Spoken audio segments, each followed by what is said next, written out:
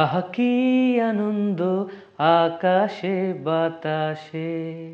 শাখে শাখে পাখি ডাকে, কত শোভা চারিপাশে। আহা, কি আনন্দ আকাশে, বাতাসে। Yes, today is Poila Boishak. Shubho Naboborsho to everyone. This is Abhishek and I'm back with another exciting video. This time it's going to be a tutorial. Let's get started.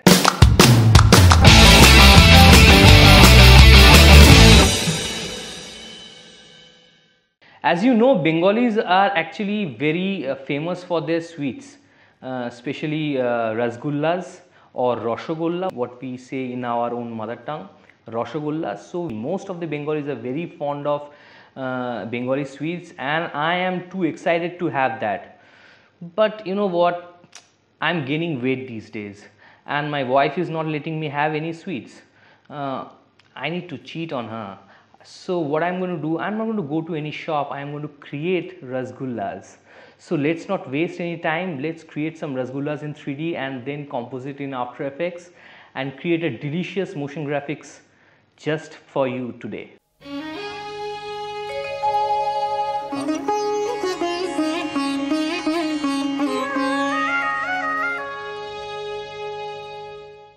we are with the uh, tutorial. This is not going to be a very uh, you know detailed uh, tutorial. Uh, we will try to uh, do it uh, very fast. We'll try to cover up only the important parts of it. I'm not going to show you by developing the entire graphics once again because i assume that you know people those who are going to develop this motion graphic they are well known with their basics.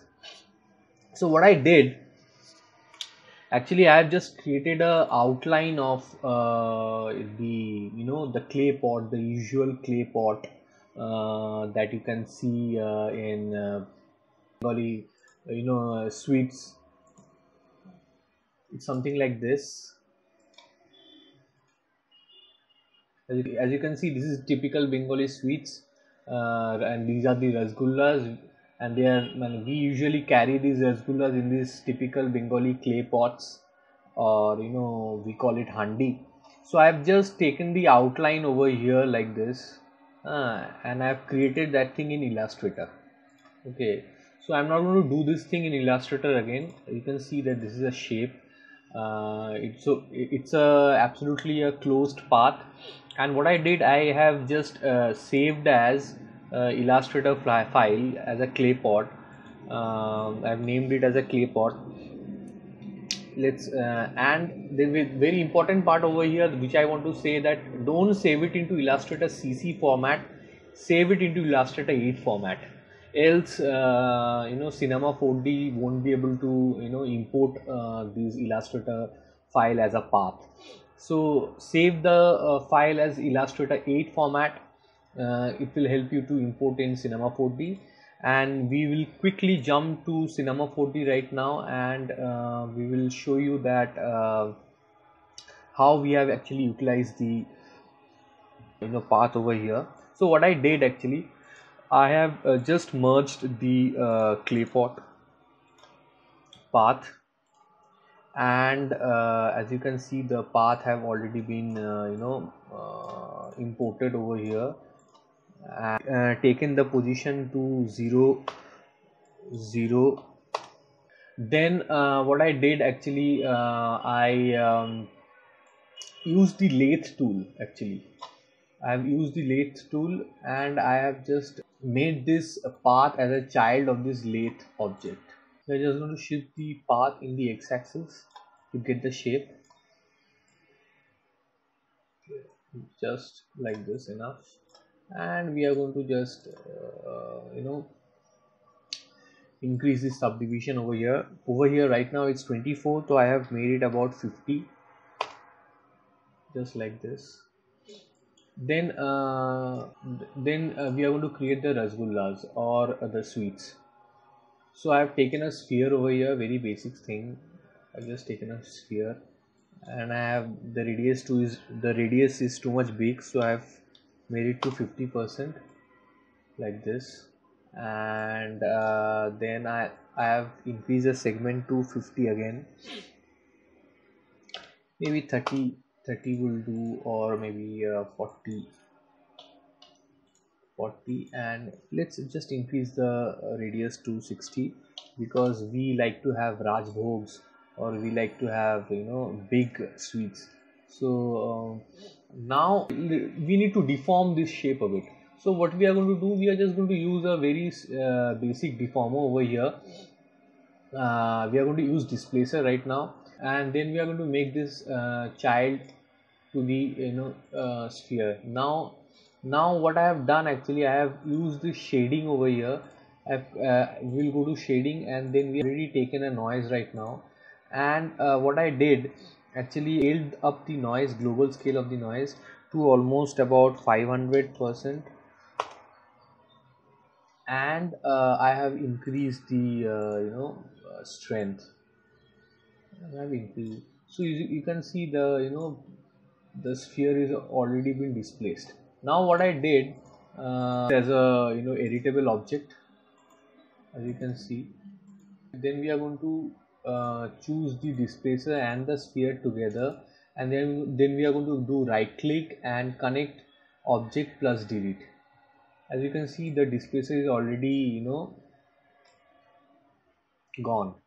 So now it's a total you know uh, object which is already been displaced and the displacing uh, you know uh, properties have been baked into the object. Now after that what I did actually I used uh, uh, a cloner over here right now.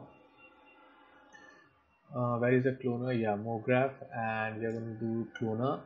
And I have uh, used this sphere or the you know displaced sphere and I've made a child to the cloner.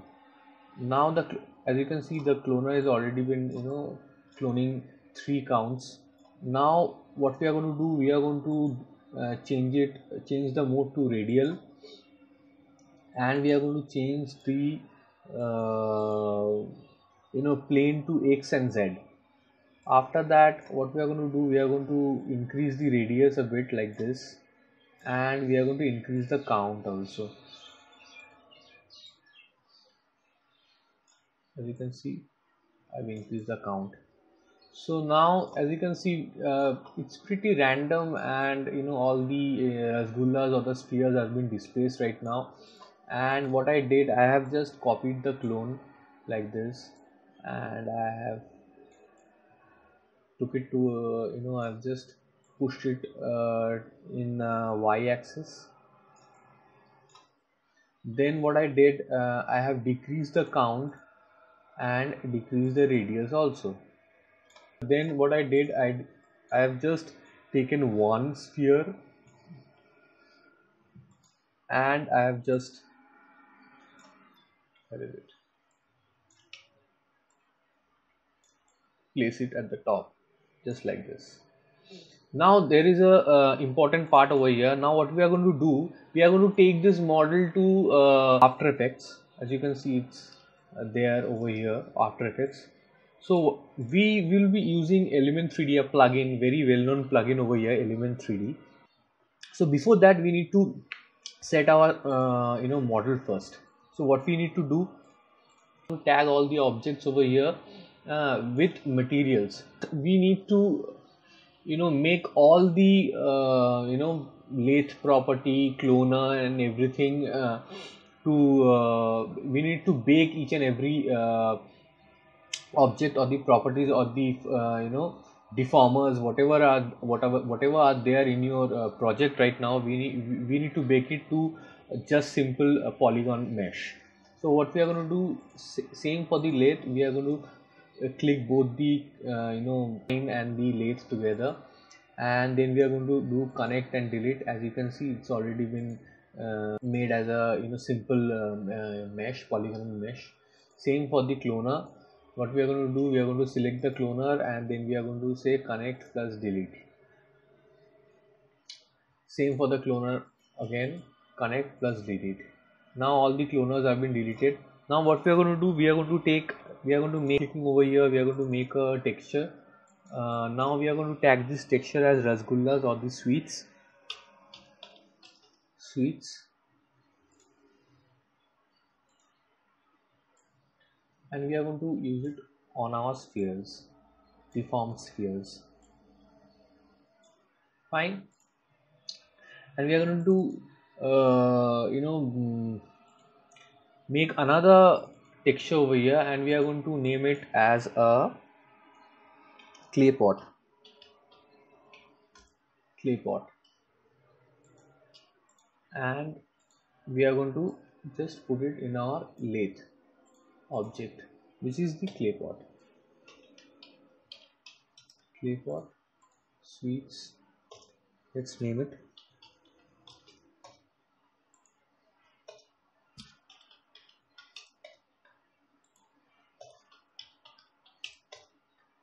Okay? Very fast now what we are going to do let's just change the color a bit so that to identify.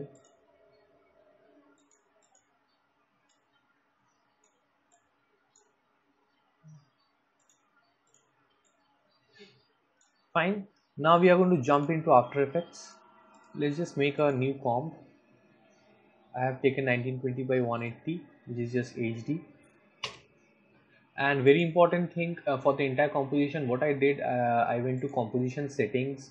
And in 3d then i went to 3d rendering part uh, tab. And in the rendering option I, instead of ray trace 3d i have i am using classic 3d and in the options just uh, shadow map resolution is going to be comp size. Okay? And shutter angle is 90 degree advanced uh, tab and basics are just fine. I am using uh, because i am in india so i am using frame rate 25 and uh, duration is going to be 11.24 or whatever you want to do. Just click ok. Now we are going to make a new solid over here. Uh, let's just make it black. And uh, what i'm going to do i'm just going to apply element 3d right now and in the scene setup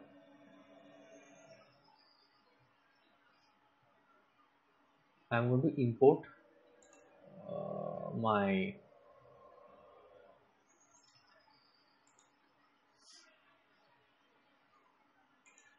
I'm going to import my cinema 4d file. As I have already created the uh, you know my model before is Handi I have named it as a Handi or the clay pot oh one more thing that i forgot to tell you that uh, we will be using uh, shadow mattes uh, in uh, element 3d so what i also did i have created a, a you know a cube and then uh, i have increased the size and in y axis i have made it a bit flat. And i have just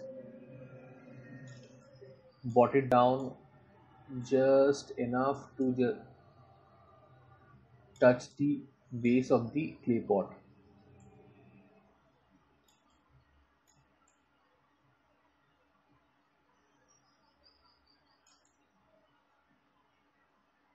Yes. And what I did, uh, I have just increased the size of the you know cube. It looks like a plane.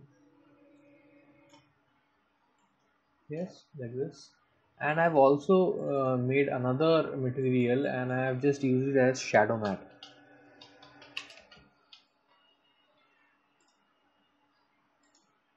naming is very important. So don't forget to name your uh, objects. And I've just saved it uh, saved the you know cinema 4d file. Let's just jump into uh, element 3d again as you can see that uh, I have already developed my own uh, you know 3d model over here. And what I did actually uh, I have used the pro shader from the element 3d you know library. For uh, for the plane I have used uh, uh, shadow matte. Very simple material. A physical material. Shadow matte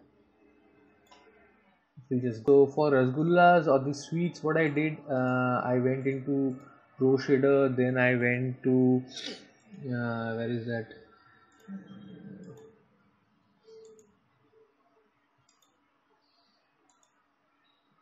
Yeah. Stucco and I've used stucco rough white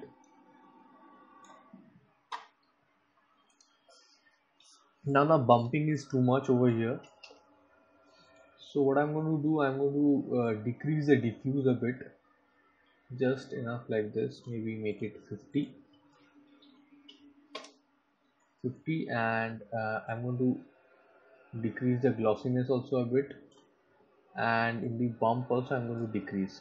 And then what I did actually I've increased the intensity of the uh, you know re reflectivity about 20 percent and refraction also about 20 percent. I think I made it 10 percent 10 10 percent. Just like this. And for the uh, handi or the clay pot what I did again I went into uh, the plaster option uh, into the uh, you know pro shaders uh, library and I've just used it plaster brown. This one as you can see. And what I did uh, in the plaster brown I have made uh, a little bit I have changed the diffusion color a bit. So I have taken a bit of a you know muddy orange. Just like this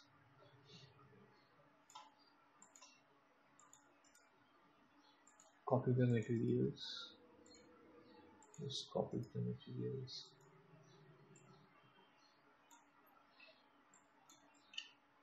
we need to tweak the uh, glossiness and things and all for the rasgullas. Uh, for that reason i'm going to uh, go to my comp which is already been created. I'm going to show you the values over here. Please just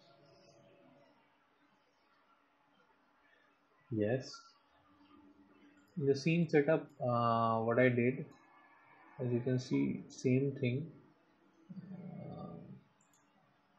Yeah i have decreased the diffuse about 43 percent. I have kept the glossiness about 100 percent fine. And then normal bump i have used uh, 35 percent.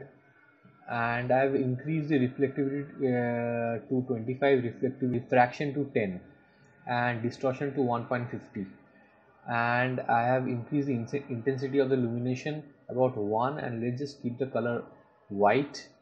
And for the plaster brown for the this thing I have just used the same thing. All the settings are the same. I have just used uh, diffuse. I have just got a little bit of warm color in, in the diffusion part. Then after creating this what I actually did as you can see um, my models have been duplicated. As you can see my models have been duplicated. Because what I'm going to do why I have duplicated the models? Because I'm going to use it in uh, auxiliary channel. So for auxiliary channel what I did I just uh, right clicked on it and duplicate model like this. And uh, into the auxiliary channel I have separated the plane the matte over here and I've switched off all the other layers all the other part of the model. I have just used the layer and in the auxiliary channel what I did as you can see the auxiliary channel I have changed it to channel 4 same goes for the uh, you know uh, or the clay pot with the uh, sweets over here. And in the auxiliary channel what I did uh, I have used uh, as channel 1 over here same goes another duplicate over here. What I did uh, in auxiliary channel I have changed it to channel 2 and for the third one I've changed it to channel 3 now what I did as you can see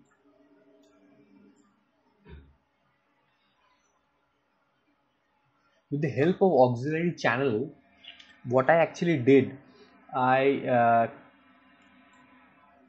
animated those duplicate uh, you know 3d models.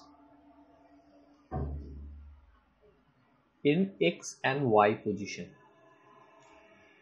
So if you see my uh, you know properties or my keyframes over here let's just go to group 1 enable the group 1 layer then uh, go to auxiliary channel in group 1 third uh, you know duplicate uh, in the third in Z position I have taken it to 35 in the second one I have taken it to you know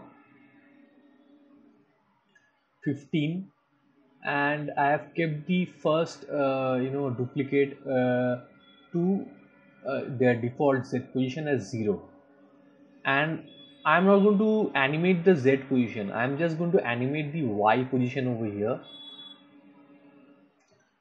So as you can see I have actually animated the Y position of all the you know duplicates of all the models over here to give a you know drop down effect over here.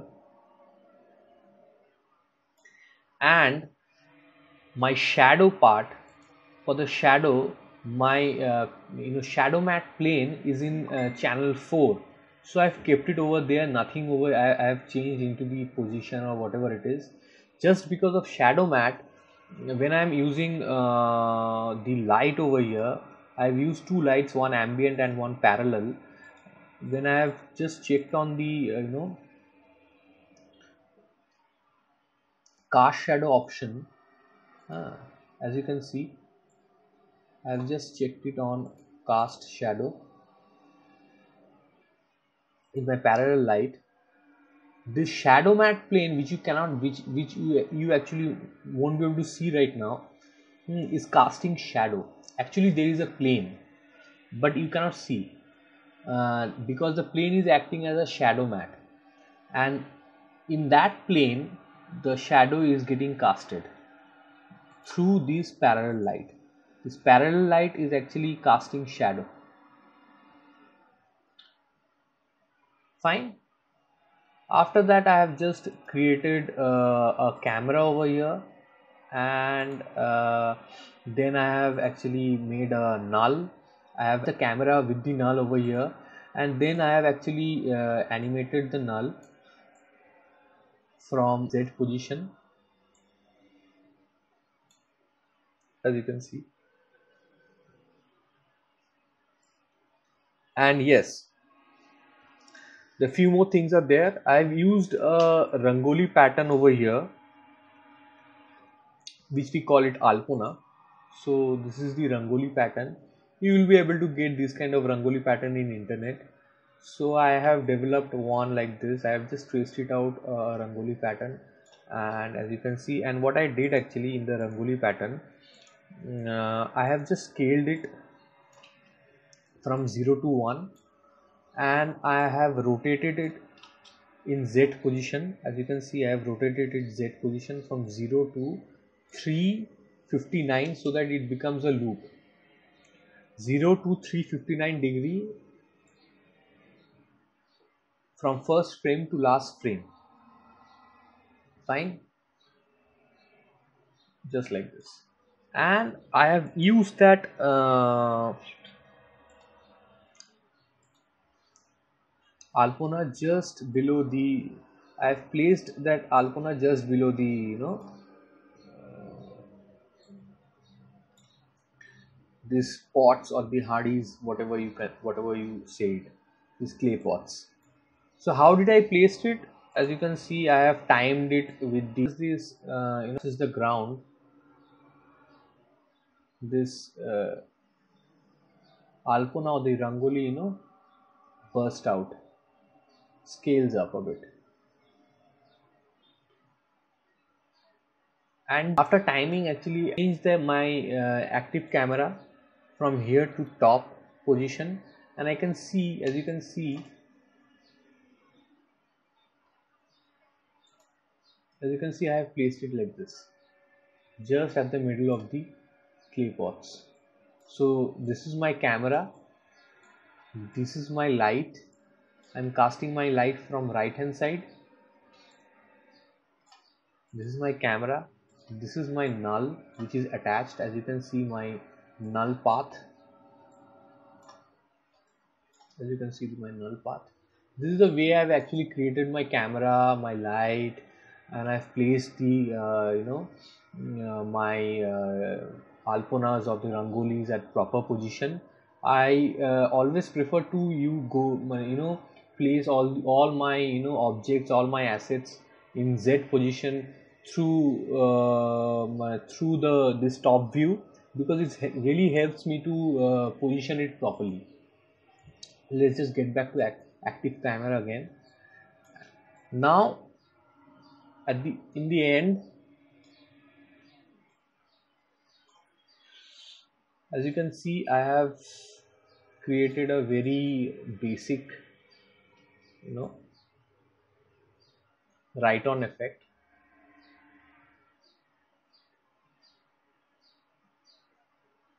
So what is what I did actually I have just taken a text very simple text a little bit of handwriting kind of a text. Where is the text? This is a text revealer. And what I did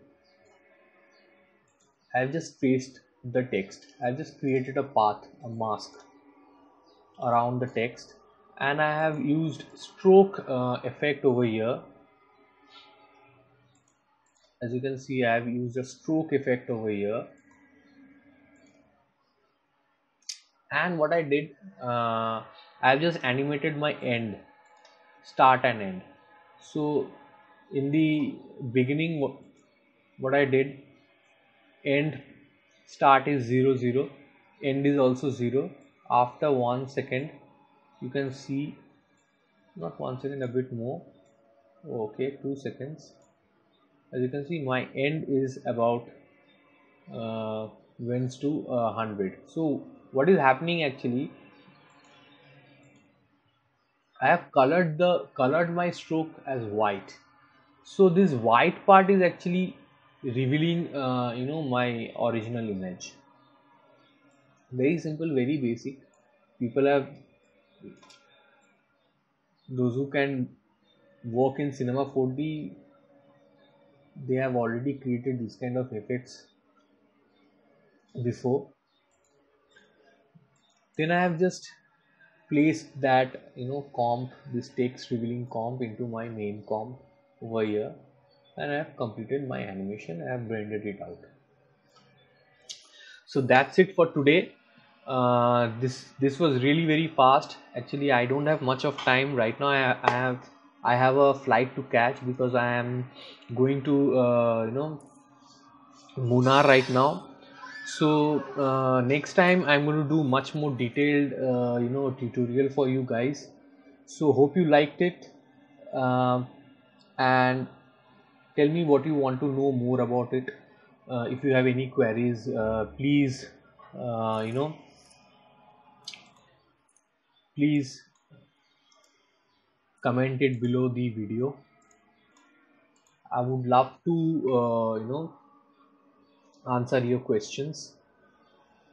Hope you have enjoyed this video guys. This is the final animation so guys how did you like this episode of mine this tutorial? Please do share your comments in this video. This is going to give me more and more uh, insight that what you guys are looking forward to. Maybe you have some uh, different kind of ideas. And don't forget to subscribe because this is going to be uh, my encouragement for developing more videos for you. So please subscribe my channel and stay tuned. This is abhishek শুভ নববর্ষ to everyone enjoy করুন ভালো থাকবেন।